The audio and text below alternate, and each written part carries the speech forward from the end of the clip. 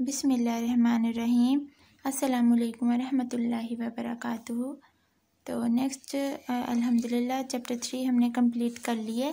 Chapter four हमने start करना है। तो इस चैप्टर में हम सिस्टम ऑफ़ लीनियर इक्वेशंस को सॉल्व करेंगे डिफरेंट मेथड से। तो सबसे पहली बात लीनियर इक्वेशन किसको बोलते हैं? देखें, जिस तरह से ये इक्वेशन जिसकी डिग्री वन होना three x plus two three x one plus two x two equal to two, ये कोई इक्वेशन है? तो इसमें जो वेरिएबल है, उसकी डिग्री कितनी है? वन है ना इसकी पावर तो ऐसी इक्वेशंस को बोलते हैं लीनियर इक्वेशन और अगर इस तरह से एक से ज़्यादा इक्वेशंस को हम सॉल्व करें एट अ टाइम तो उसको बोलते हैं सिस्टम ऑफ़ लीनियर इक्वेशन तो ये हमारे पास उसके बाद रो ऑपरेशन यहाँ अगेन रिवीजन के लिए दी गई हैं। ये हमने पढ़ी हुई हैं पिछली, पिछले यूनिट में। तो इसकी एक्सरसाइज देखें, एक ही एक्सरसाइज है फोर तो इसमें क्वेश्चन नंबर वन है solve the following system of linear equations the field of scalars being R के इसमें जो हमारे पास स्केलर्स हैं, वो रियल लाइन्स ही हैं रियल नंबर्स हैं. तो ये सारे क्वेश्चन ना सेम तरीके से होंगे. तो इनको करने से पहले कुछ पिछला काम अपना रिवाइज कर लेते हैं. सिस्टम ऑफ़ लीनियर इक्वेशंस का तो आप जान गए हैं. तो अगर एक से ज़्यादा more than one equations exist करें और उनको हम एट अ टाइम सॉल्व करें तो उसको बोलते हैं system of linear equation second number पे क्या है कि solution of system of linear equation कि इनका जो सॉल्यूशन होता है वो या तो यूनिक हो सकता है या इन्फिनाइट या उनका सॉल्यूशन एग्जिस्ट ही नहीं करता होता नो सॉल्यूशन ठीक है, उसके बाद देखें next consistent and inconsistent system कौन सा होता है? एक ऐसा सिस्टम जिसकी कोई एक सोल्यूशन निकले मतलब एक सोल्यूशन एग्जिस्ट करे जिसका, जैसे या तो यूनिक निकल आए या इन्फिनाइट सोल्यूशन निकल आए। तो ऐसे सिस्टम को बोलते हैं कंसिस्टेंट सिस्टम ठीक है? और इनकन्सिस्टेंट सिस्टम बोलते हैं जिसका कोई सोल्यूशन एग्जिस्ट ही ना करे। उसके बाद नेक्स्ट देखें अगुमेंटेड मैट्रिक्स आपके पास इस तरह से है ना क्वेश्चंस ये आ, हमारे पास क्वेश्चंस हैं ठीक है सारे? अगर हम इन वेरिएबल्स को हटा के जस्ट इनके कोफिशेंट्स लिखते हैं और डोटेड लाइन लगा के ये राइट हैंड साइड भी लिखते हैं एज इट इज़ तो इसको बोलते हैं ऐसे मैट्रिक्स को बोलते हैं ऑगमेंटेड मैट्रिक्स समझ आ रही है ना बात? और इसको डिनोट किया जाता है ए के साथ नीचे इंडेक्स में बी लगा देते हैं ठीक है? ये रिप्रेजेंट कर रहा है ऑगमेंटेड मैट्रिक्स को। उसके बाद एलिमेंट्री रो ऑपरेशन आप जानते हैं, तीन होती हैं। फ़र्स्ट क्या होती है कि हम इंटरचेंज कर सकते हैं किसी भी दो रोज़ को और मल्टीप्लाई कर सकते हैं किसी भी रो को किसी नॉन ज़ीरो रियल या कॉम्प्लेक्स नंबर के साथ। और थर्ड क्या है कि हम किसी भी एक रो को किसी नॉन ज़ीरो नंबर या स्केलर के साथ मल्टीप्लाई करवा के उसको किसी दूसरी रो के साथ ऐड भी करवा सकते हैं और सब्ट्रैक्ट भी करवा सकते हैं, ठीक है? दोनों काम करते हैं। और नेक्स्ट उसके बाद है, उसके बाद है next echelon and reduce echelon form देखें एचिलोन फॉर्म ये होती है, जिसमें हम क्या करते हैं फ़र्स्ट जो नॉन ज़ीरो एंट्री होती है, उसके नीचे ज़ीरो बनाते हैं, हर रो की। ये फ़र्स्ट रो की नॉन ज़ीरो एंट्री क्या है? फाइव है फाइव के नीचे दोनों ज़ीरो बना दिए। सेकंड रो में नाइन है नाइन के नीचे ज़ीरो बना दिया। ठीक है, वो फिर सारे ज़ीरो हो गए। तो ये फॉर्म है एचिलोन फॉर्म और रिड्यूस एचिलोन फॉर्म में हम क्या करते हैं? नॉन ज़ीरो एंट्री को हम वन बनाते हैं और उस नॉन ज़ीरो एंट्री के ऊपर भी ज़ीरो बनाते होते हैं और नीचे भी। अब देखें फ़र्स्ट रो है ना, ये है वन ऊपर तो है नहीं कुछ भी तो नीचे सारे ज़ीरो बना दिए। सेकंड रो में नॉन ज़ीरो एंट्री को बनाया वन और इसके ऊपर भी ज़ीरो और नीचे भी ज़ीरो बना दिए। इसी तरह थर्ड रो में काम किया, ऊपर भी ज़ीरो, नीचे भी। तो ये इनका डिफरेंस था। उसके बाद आते हैं हमारे पास दो मेथड इन मेथड्स के थ्रू हम अपने सिस्टम ऑफ़ लीनियर इक्वेशंस को सॉल्व करते हैं। तो फ़र्स्ट मेथड है गॉजियन एलिमिनेशन मेथड और सेकंड क्या है? गॉज जॉर्डन मेथड तो इन, इनमें भी माइनर सा डिफरेंस है, देखें। इस गॉजियन एलिमिनेशन मेथड के अंदर आप क्या करते हैं?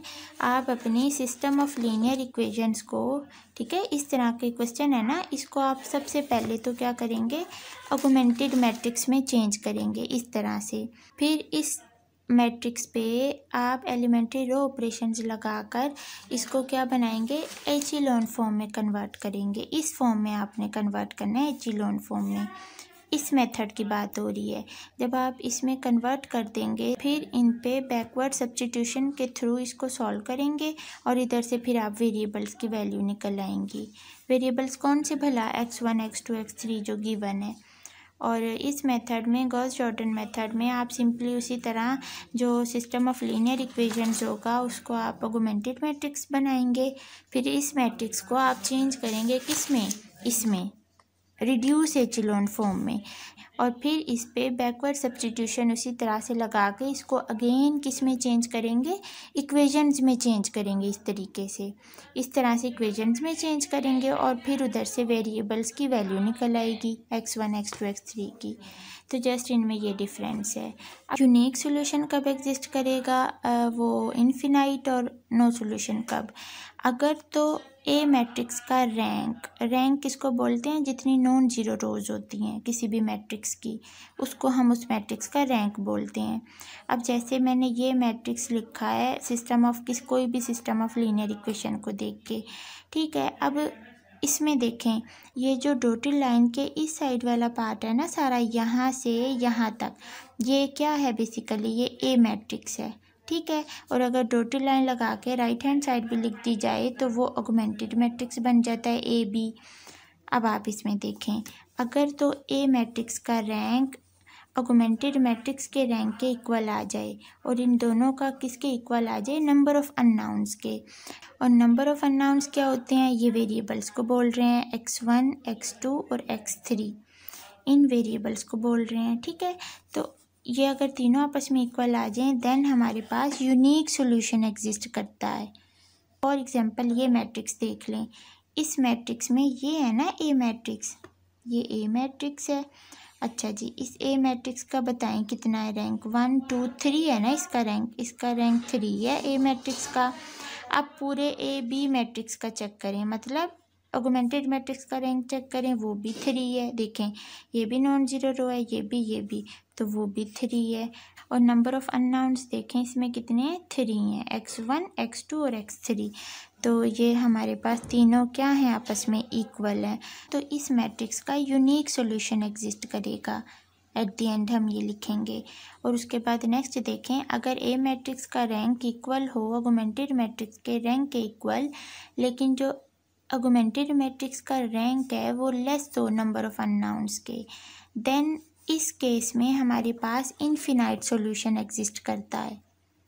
अब देखें, इसकी एग्जांपल देख लें, नीचे ये वाले मैट्रिक्स को देखें, इसको। ये ए मैट्रिक्स का पहले तो रैंक देखें नॉन ज़ीरो रोज कितनी है? टू है। तो ए मैट्रिक्स का रैंक लिखा। उसके बाद अब इस ए बी ओवरऑल इस ऑगमेंटेड मैट्रिक्स का रैंक चेक करें। नॉन ज़ीरो रोज कितनी है? टू ही है। तो वो इसका हमने लिखा टू और तीसरी बात क्या चेक करनी है? नंबर ऑफ़ अननाउंस मतलब वेरिएबल कितनी है? ये है ना ओरिजिनल मैट्रिक्स तो इसमें हमारे पास कितने हैं? नंबर ऑफ़ अननाउंस थ्री हैं। तो हमारे पास देखें, ये दोनों तो आपस में इक्वल है। ये ए है, ये ए बी है, और ये क्या है? नंबर ऑफ़ अननाउंस तो ये दोनों आपस में इक्वल हैं, लेकिन टू जो है वो लेस नहीं नंबर ऑफ़ अननाउन से तो ये हमारे पास इस मैट्रिक्स का इनफिनाइट सॉल्यूशन एग्जिस्ट करेगा। उसके बाद थर्ड देखें, अगर ए मैट्रिक्स का रैंक इक्वल ना आए ऑगमेंटेड मैट्रिक्स के रैंक के इक्वल देन हमारे पास सॉल्यूशन एग्जिस्ट ही नहीं करता। फिर हम लिखेंगे नो सॉल्यूशन एग्जिस्ट इस मैट्रिक्स को आप चेक कर लें, ये ए मैट्रिक्स है, इसका रैंक कितना है? टू है। इसका रैंक टू है ए मैट्रिक्स का और जो ऑगमेंटेड मैट्रिक्स ओवरऑल अगर आप देखें तो इसका रैंक कितने थ्री है? तो टू और थ्री तो आपस में इक्वल नहीं है ना? तो इसका सोल्यूशन एग्जिस्ट ही नहीं कर रहा। अब आ जाए अपनी एक्सरसाइज पे।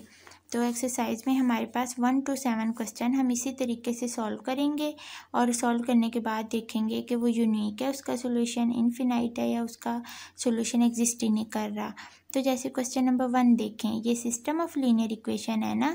इसको फ़र्स्ट ऑफ़ ऑल तो हमने करना होता है ऑगमेंटेड मैट्रिक्स इसका बनाना होता है तो वो बना लिया। ठीक है? अब इस पे क्या लगाते हैं? रो ऑपरेशंस लगाएँगे।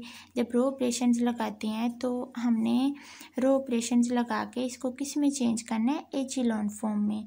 अब हमने तो दो मेथड पढ़े हैं ना? तो ये आपकी मर्ज़ी है। अगर आप एचिलॉन में करेंगे तो आप इस मेथड के थ्रू सॉल्व कर रहे हैं। अगर रिड्यूस एचिलॉन में इसको कन्वर्ट करेंगे तो आप फिर ये वाला मेथड यूज़ करोगे। तो आप देखें, इसको ना एचिलॉन में कन्वर्ट कर रहे हैं। तो उसके अकॉर्डिंग रो वन और रो थ्री को इंटरचेंज कर लेंगे ताकि वन ऊपर पहुँच जाए। तो वही काम किया। उसके बाद फ़र्स्ट नॉन ज़ीरो एंट्री के नीचे जस्ट ज़ीरो बनाना होता है एचिलॉन फॉर्म में। तो इन टू टू को ज़ीरो बनाने के लिए ये दो ऑपरेशंस लगाई सिंपली तो ये मैट्रिक्स बन गया। अब यहाँ पे देखें, हमने सेकंड रो की नॉन ज़ीरो एंट्री है ट्वेंटी। ट्वेंटी के नीचे इसको ज़ीरो कैसे बनाएँगे? अब आप सोच रहे हैं कि हमें कैसे पता चलेगा कि इस, ये ऑपरेशन लगाएँगे तो ये ज़ीरो बनेगा। तो देखें, इसको ना आप ऐसे याद कर लें, अब इस सिक्सटीन को ज़ीरो बनाना है ना, जो कि रो थ्री में है। तो आप इस सिक्सटीन को लिखें, यहाँ ना थोड़ा सा रफ काम कर लेते हैं। देखें सिक्सटीन को आप ऐड कर दें ट्वेंटी और ट्वेंटी के साथ ही कोई भी वेरिएबल है एक्स इक्वल टू ज़ीरो रख दें। अब देखें, हमने बेसिकली इस वेरिएबल की वैल्यू फाइंड आउट करनी है। जो इस वेरिएबल की वैल्यू आएगी उसको वो आपके पास क्या हो जाएगा? रो टू का मल्टीपल हो जाएगा। यहाँ से twenty x equal to minus sixteen आ गया। X equal to minus sixteen over twenty तो यहाँ से एक्स क्या निकला? देखें फिर। माइनस फोर बाई फाइव तो जब आप इसको ऑपरेशंस लगाएँगे, ये वाली तो आपके पास ये ज़ीरो बन जाएगा। इसी तरह ये आपके पास थ्री बन जाएगा और ये नाइन बाई फाइव समझ रहे हैं ना? देखें, यहाँ तक तो काम आ रहा है समझ में। अब आप कह रहे हैं इस ज़ीरो को, इस सिक्सटीन को ज़ीरो बनाना है तो ये ऑपरेशन कैसे लगेगा? तो इसके लिए हमने क्या कर दिया? सिक्सटीन जिसको ज़ीरो बनाना है, उसको हमने ऐड कर दिया। ऊपर जो रो है, उसके साथ किसी वेरिएबल को मल्टीप्लाई करवा के और इक्वल टू ज़ीरो रख दिया। तो इधर से जो एक्स की वैल्यू आई, वो बन गया उसका मल्टीपल एंड देन हमारे पास ये ज़ीरो बन गया। अब ये सॉल्व हो गया है। ये एचिलॉन फॉर्म हो गई है, ठीक है? फ़र्स्ट नॉन ज़ीरो एंट्री के नीचे ज़ीरो सेकंड नॉन ज़ीरो के नीचे ज़ीरो थर्ड वाली तो थर्ड वाली के नीचे है ही नहीं कोई रो ये सारा ये मैट्रिक्स है डोटेड लाइन से इधर इधर। इसका है रैंक थ्री और ये ओवरऑल सारा आर्गूमेंटेड मैट्रिक्स है तो इसका भी थ्री है। और इसमें देखें नंबर ऑफ़ अननाउंस अब कितने हैं। तीन चीज़ें चेक करनी होती है ना अपना पता चलाने के लिए कि इसका कैसा सोल्यूशन एग्जिस्ट कर रहा है।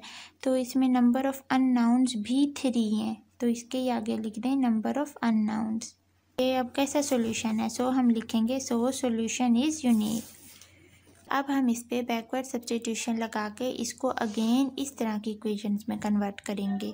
ठीक है? फिर उधर से वेरिएबल्स की वैल्यू देखें कैसे फाइंड आउट करते हैं। सबसे पहले तो इसको मैंने आगे लिख दिया, इस मैट्रिक्स को नेक्स्ट इस पेज पे लिखा। तो फ़र्स्ट वाली क्या होती है? X one minus eight x two minus three x three equal to कितना है? टू हमने इनको इक्वेशंस में चेंज करना है। और इधर से सेकंड इक्वेशन क्या बनेगी? एक्स वन तो ज़ीरो है ना? Twenty x two plus five x three equal to minus six और थर्ड में दोनों x one x two zero हैं और ये थ्री एक्स थ्री आ जाएगा। Three x three is equal to nine by five ये थ्री इक्वेशंस बन गए ना अब हमारे पास। वन इनको नाम दे दें। वन टू और थ्री अब आपने इस थ्री इक्वेशन को पकड़ना है। इधर से इजीली एक्स थ्री की वैल्यू निकल सकती है ना? X three equal to nine by five multiply हो रहा है, इधर डिवाइड हो जाएगा। तो ये हमारे पास x three equal to nine by fifteen आ गया और इसको जब आपने कट किया तो थ्री बाई फाइव बन गया। ठीक है तो एक्स थ्री कितना आया? थ्री बाई फाइव इस एक्स थ्री की वैल्यू को आप इक्वेशन टू में पुट कर देंगे। ठीक है पुट इन इक्वेशन टू तो ये इक्वेशन टू यहाँ नीचे लिखें पहले तो twenty x two plus five x three की जगह पे पुट करना है। तो थ्री बाय फाइव मैंने पुट किया और इक्वल टू कितना है? माइनस सिक्स फाइव फाइव के साथ कैंसिल तो ये आया twenty x two plus three equal to minus six तो यहाँ से twenty x two equal to minus six minus three यहाँ से फिर x two minus nine over twenty इसी स्टेप में मैं इधर लेके गई। अब उसके बाद इन, इस एक्स टू और एक्स थ्री की वैल्यू को इक्वेशन वन में पुट कर दें। ठीक है? नाउ इक्वेशन वन क्या बन गई अब? देखें x one minus eight x two कितना निकला है?